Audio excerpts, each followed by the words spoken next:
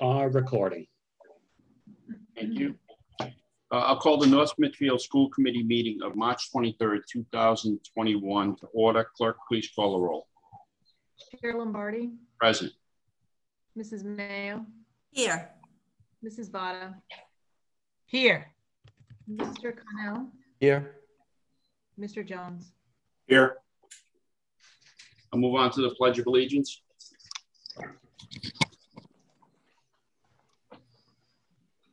I I pledge allegiance Pledge Pledge allegiance to to the flag of of the the United States of America America. and to to the the republic republic for which it which it stands, one one nation nation, Nation. under under God, God, indivisible, with with liberty and justice for all. all.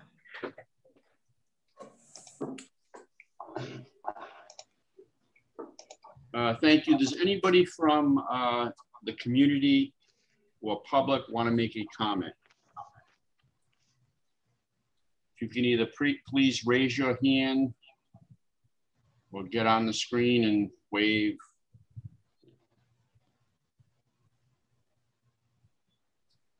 I see no one, Superintendent. No, I don't see anyone either. Okay, great. We'll move on. We'll move on to the consent agenda. Does anybody have any questions on the consent agenda or want to take anything off? I actually have a question about number seven, but I don't think it needs to be removed. Okay, Um, Okay, I, I was just, I noted, um, as I was reading it over, that the suggestions, that some suggestions had been made by administrators regarding the policy, and I, I'm just wondering if those were taken into consideration. Uh, actually, Mr. Stanley is on board and he and his, uh, his technology advisory committee are, are the folks that did the policy revision. So Adam, I don't know if you would like to unmute to answer Ms. Mayo's question. Sure. Yeah, we um we met with uh, uh Mrs. Lopes and uh Fatima and um, some other administrators about some of these changes. So um any of the notes that were referenced to the right column in that policy were taken into consideration. Thank you. I'm all set. I have one question, Mr. Chairman. Sure. if I may. Uh, It's really probably directed to Claire, uh, Ms. Arnold, I mean. I'm just, if I missed it, I apologize. I see we're approving the high, I know we're doing the high quality elementary math. Does that take us for all the grades now? Are we high quality everywhere or just in elementary at this point? So that takes us to K through 12, high Yeah. quality uh, materials for all English language arts and math. This year, we implemented um, math at the middle school, high school already. We did it that at the beginning of the year. And we also implemented high school ELA. And I don't know if you remember, but um, we had written and were awarded a $170,000 grant for high school English language arts um, curriculum. It was a competitive grant and it was amazing. And even though it's a tough time to implement new programs in some respects because uh, it's the COVID year and a pandemic, it was actually a perfect timing because all of the new programs have sent so many more technology capabilities to do online learning. So um, after this purchase, we will be um, 100% in alignment uh, with the uh, legislation and the um, for English language arts and math. The only one that's outstanding is science, and uh, that's go not for a couple more years. We have a couple years, yeah. And there's other things we have to worry about science, but Okay, Well, I'll get good. to that. And I think, and I think we, uh, we met all the requirements, uh, at least two years before the deadline. Is that, is that correct? I don't remember the deadline off the top of my head. I Well, do we- know that um, We're ahead, I know that. We're I don't ahead know. we are, Yeah, ahead. right. So this is actually a big, it just, this is a, a really step forward in the right direction with the high quality curriculum materials.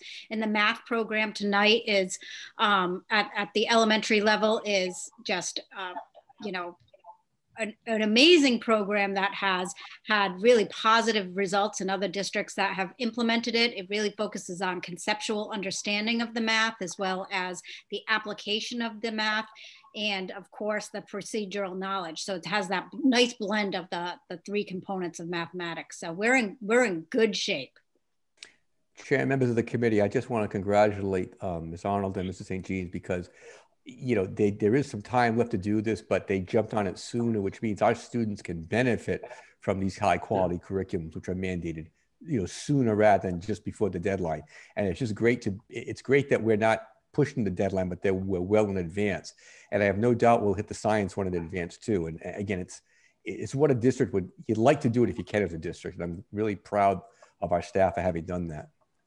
Thank you, thank you, Mr. Connell. The only thing I want to add is that in order to adopt a program, it takes a lot of people, a lot of time, and a lot of work to go through all the different types of programs that we could adopt, um, and take your time using, you know, rubrics and analysis to see what fits best for us and our students and our district. And our teachers spent you know endless hours after school volunteer um, to do this work. And so i just want to mention the teachers um, were, were part of the reason that we were able to do what we did in such a, a quick manner. So and and the school committee for always supporting us and help, helping us to move forward. So it was definitely a team effort. Thank you.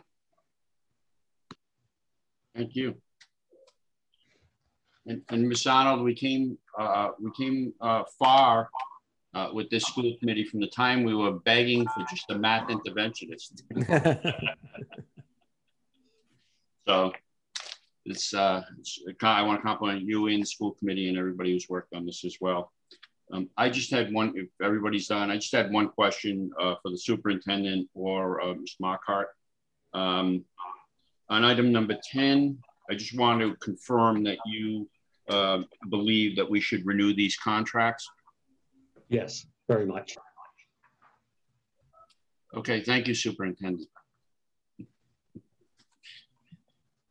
You're not laughing? there was a joke before the meeting about this, so never mind. All right, so does anybody have any further questions?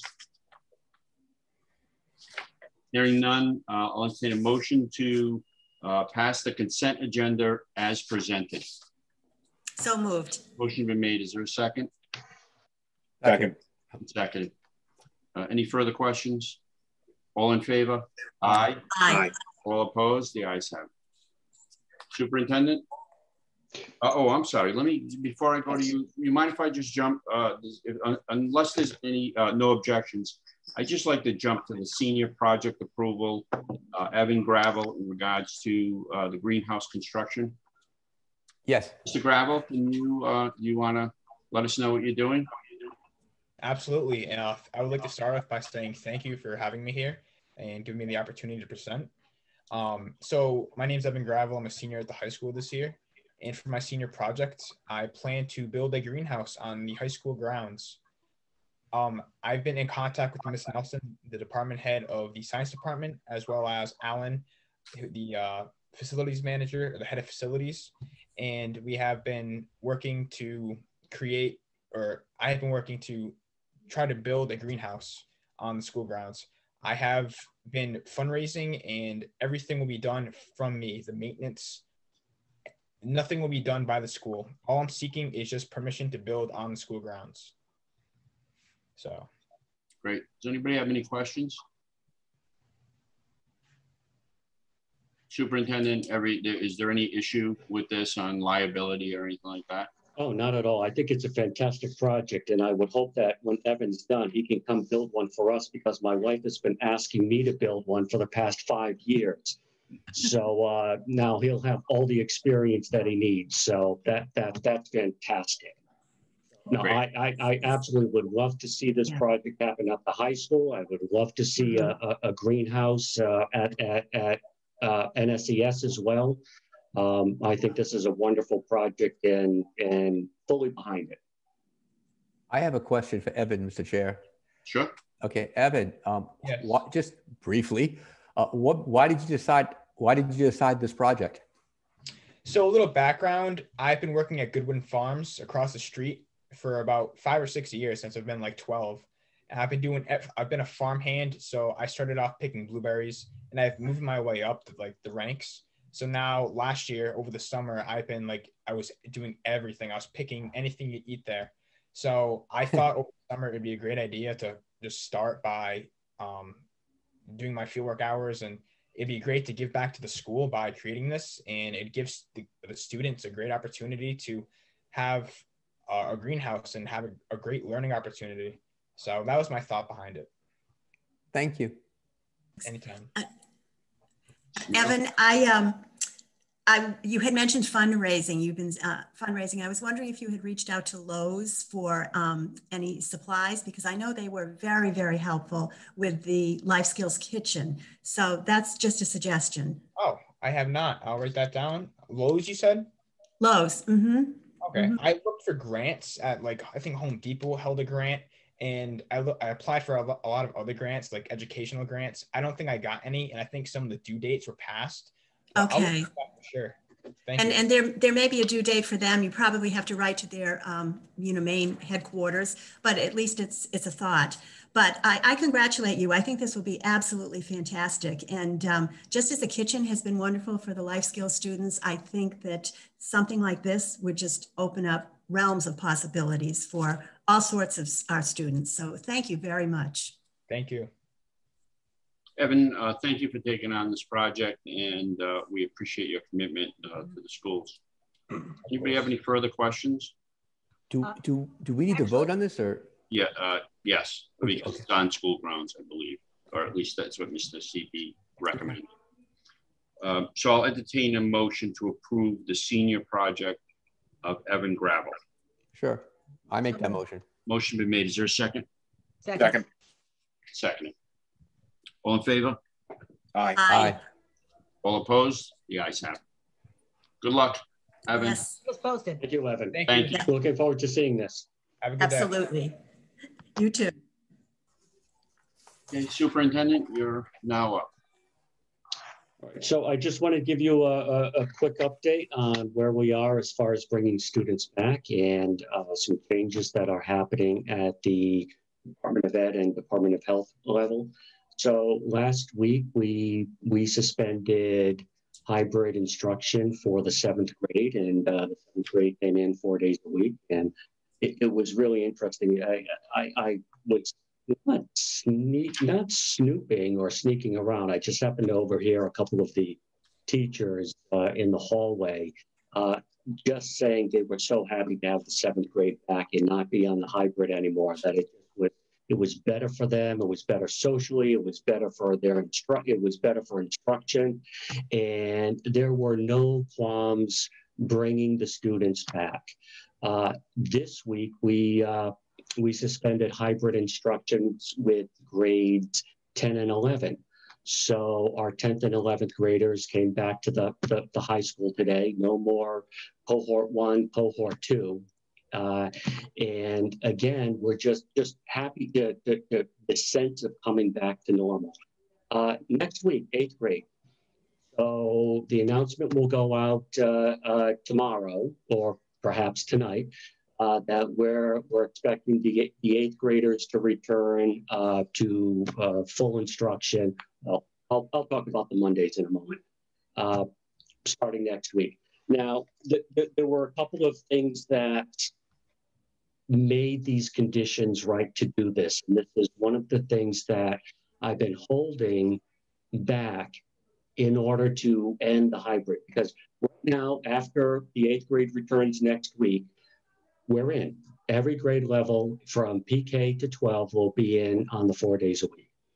And a couple of things have to happen uh, for that. Uh, number one, I just want to give a, a, a, tremendous thank you to uh, the town of North Smithfield and Chief Chartier uh, and their and the counterparts in Woonsocket for their uh, vaccination clinic, Joint North Smithfield Woonsocket Vaccination Clinic. Uh, so the many of our teachers, many of our staff, and we actually extended it to Chartwell's kitchen, the, the kitchen workers and the DATCO bus drivers and bus monitors had an opportunity to receive their first vaccination on March 12th. And it was quick, it was smooth, it was happy, a lot of smiling faces. Uh, a number of our, our administrators had volunteered to work the, the, the clinic that day. So again, it was just a really good, efficient, very positive experience. Our, our second dose will be April 2nd. And so with with the vaccinations that are getting out to our staff, with the warmer weather coming, with the uh, changes in some of the restrictions that we've had, you know, from the CDC, and now uh, uh, the Department of Health will be working on taking some of the new CDC guidelines and adopting it for Rhode Island. It just seemed right now was the time to reopen. Now, I just want to caution that it's not not fully back to normal and we can't let our guard down. Just last week, there were three classes at NSCS that were on full quarantine, along with seven, seven staff. Uh, this week, a we, we, we've had to put a fifth grade classroom on quarantine. We're still getting notices from the Department of Health of students who have students who have tested positive and then having to do all the contact tracing. So we're not out of the woods yet, but we do feel we have the capacity to reopen more and bring the students back. Now, a couple of things that of the changes that are happening, and we're waiting, we're expecting new guidance on this within the next uh, few weeks. Uh, number one, we expect that the Department of Health will be lifting the limits on the buses, which are right now restricted to capacity. There's we, we expect the bus capacity to be raised to 65%, possibly 75%. And again, a, a lot of it has to do with the good practices that we have in place and the kids are adhering to hand washing, masks, windows open. So, because everyone is following the rules, it's giving us that extra comfort uh, level, uh, that extra safety level. The other thing that is being adjusted is the amount of space that's allowed between students in a classroom setting. Now, six feet has always been uh, the number that we've talked about. I mean, and again, when I talk about some of these changes, these are for the classroom. They're not necessarily going to translate into business and, and elsewhere. School specific. Uh, studies are showing that three feet is okay. Now, six feet had been the gold standard and it was always recommended. But where six feet could not be maintained, we were allowed to go below that. Uh, one of the things that has allowed us to go, you know, down to five feet, four feet, and then possibly, and then into the three foot area, is again mandatory masking. Everyone wears the mask. There are no exposed noses. There, you know, so it is it is consistent. We will wear masks we clean, we wash hands. Uh, again, I've pointed to the, the, the facilities, the improvement in our ventilation. We have good ventilation. And even now, uh, with the weather getting warmer, that's just in, improved so much more because now we can spend more time outside. We can open windows. Uh, the other guidance that we're, we're waiting for from the Department of Health is the changes in cafeteria seating which is something that has been very difficult because that is the period in which the students do not have their masks. So we we try to maintain as much space as possible. We try to keep that period in which folk in which the kids are eating as short as possible. Uh, the magic number is to keep it below the 14 minutes. And and in, in our schools, we've extended into auxiliary spaces. NSCS uses half of the gymnasium. Uh, the, the, middle school uses uh, uh, uh, the chorus room.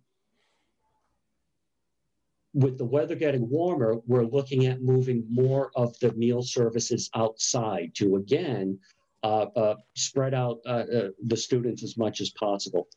The other guidance that we're anticipating in, in the next week or two, and in fact, they, they met on it today, is to guidance around spring events proms, graduations. So we're looking at just as we're opening up within schools and we can allow more capacity and do it safely, we will be able to do this also with with with with, with, with spring events, including a prom. And again, I don't, ha- I'm not sharing any details. We have, you know, the high school has a number of things on the drawing board, but the intent is to have a prom. Now, senior prom, junior prom, we're talking about what is it we can do to have some of these spring events. Now, I've seen some of the super secret slides, and there's a lot of hoops to jump through, but we're convinced that, that this will be a possibility that we, we can do something. Uh, same with graduation. So again, things are changing, things are opening up. Uh, we have new guidance coming coming down to us. Uh, we also realize that you, you, you, have to urge everybody we cannot be complacent. The, the we, we, we COVID is still very real. The variants are still floating around there, around there, and it's very real. And if we let our guard down, you know, we could be undoing some of this good work that we have moving forward. So while we can, we're continuing to move forward. Now, I do have a number of uh, uh, people who have asked about Mondays. And, you know, we're looking at returning the, uh, the Mondays to instruction. But what we have right now are some scheduling issues that we need to we need to work out. We have state testing coming up, which you know we still have a good cohort cadre of students who are on distance learning, whose families have not received the vaccination, to have students that uh, do have some uh, uh, medical concerns. So we've scheduled the state testing on the Mondays when the buildings are generally empty so that it is a, a safer, more open, more spread environment for our, our full-time distance learners to come in and take their stand, take their state test. So we're looking at the scheduling for that. We do have a couple of holidays already fall on the Monday. We have a PD day that falls on a Monday. So there aren't really that many open Mondays uh, throughout the year. But again, we're looking at the scheduling and but but my my focus, our focus right now was to suspend hybrid, get students back as much as possible, and you know really look at uh, having some of these spring events happen and do it safely and try to finish this year as, as strong as we can. So that's that's the update I have at this stage uh, as far as our, our reopening and our status. Great. Good job, Superintendent. Thank you. And the administration and the teachers. Um, anybody have any questions? Hearing none, let's uh, continue to move. Uh, the next, uh, the next uh, section is for informational purposes. It's uh, the coaching assignments. Anybody have any questions for the superintendent? Again, we don't vote on this. Uh, it's for informational purposes. Uh, one thing, one thing I will add on this is that the the Interscholastic League has raised the limit on spectators at the event. So we we are now allowed uh, two two two guests, uh, two parents, two spectators for every student athlete, as long as the facility accommodates that. You know, again due to social distancing. And but we're, we're, we're pretty much on track so that uh, um, each, each, each student athlete can have uh, two parents, two guests, two, two family members. Great. Uh, old business fiscal year 21 uh, operating capital budget. Um, I assume there's nothing uh, to report, Lisa? Um, we were informed by RIDE that we're eligible to apply for another $682,000 in COVID relief funds. Great. Um, I'm hearing that the funds are going to be restricted for to assist with the opening of schools uh, COVID, and also um, to help with any social, emotional, educational gaps that were created by COVID. That's great. Anybody have any questions on that or comments? Okay, we'll move on to fiscal 22 budget We're meeting with the Budget Committee April 8th for our presentation. Okay.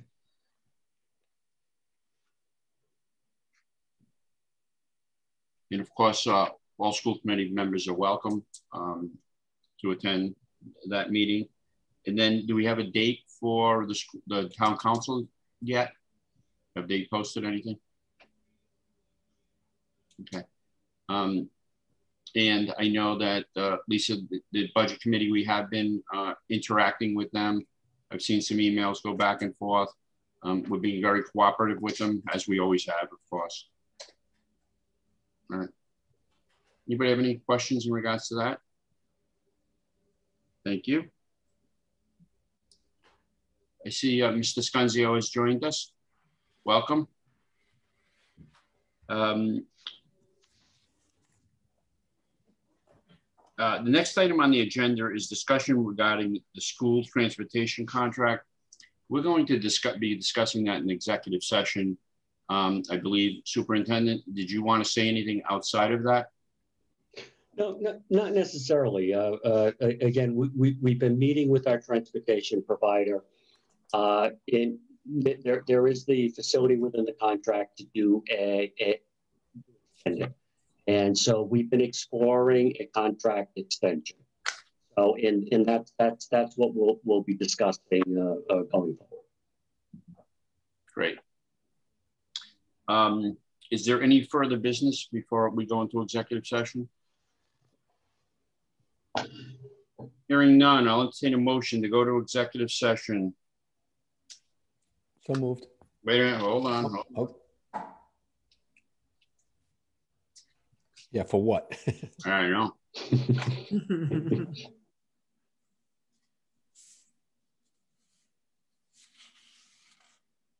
I'm sorry, I don't think we can go in. Mr. Scanzio? Oh, yeah.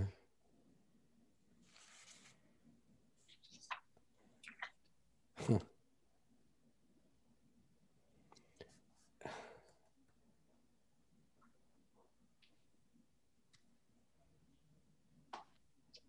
Well, I'm sorry, Ben can look it.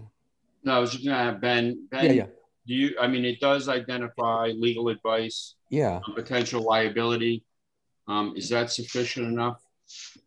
In your opinion, Ben? It is? that way you're on mute. Can't hear you. That's because I don't want to be responsible for my advice. I said yes. Okay.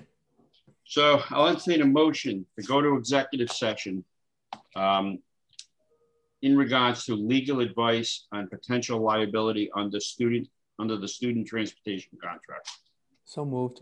Motion been made. Is there a second? Second, Seconded. Uh, Madam Clerk, can you roll call?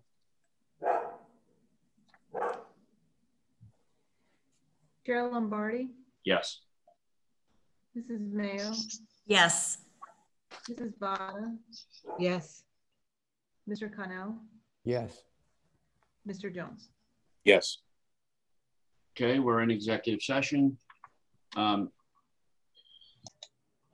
We are recording. we're back in open session. I'll entertain a motion to um, uh, leave executive session. So moved. Motion been made. Is there a second? Second. Second. Um, roll call, please. Chair Lombardi, Yes. Yes. Mrs. Mayo, Yes. Mrs. Vada, Yes. Mr. Connell, Yes. Yes. Paul Jones. Uh, Yes. Jones. yes. Okay, we're in open session. I'll entertain a motion to seal the record. So moved. Motion been made. Is there a second? Second. Second. All in favor? Aye. All opposed? The ayes have it. For the, uh, just uh, for the public record, we did not take any votes in executive session. And I will entertain a motion to extend the DATCO contract uh, for two years as discussed in executive session. So moved. Motion's been made. Is there a second? Second. Second. Mr. Scanzio, uh, may I ask um, if, um, in your opinion, percentage increases uh, moving forward, um, how they relate to other contracts, busing transportation contracts in the state? Uh, Mr. Chairman, um, we've reviewed information with um, Ms. Marcotte and Superintendent, and I think the three of us feel that the uh, projected increases for this extension are fair and appropriate and are in line with um, with other contracts across the state. To some degree, um, preferable. Great, thank you. And just that moving forward with the two-year extension, um, although in the contract, um, we just want to make sure that that complies with the Rhode Island general laws. Yes, in my opinion, it does. Thank you, Mr. Scanzio. Does anybody have any further questions or concerns? Uh, let's roll call it. Fatima, did I catch her off? Is she here?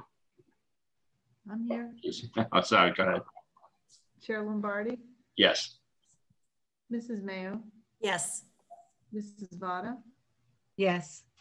Mr. Connell, Yes. Mr. Jones. Yes. Okay, um, motion passes. Is there any further business?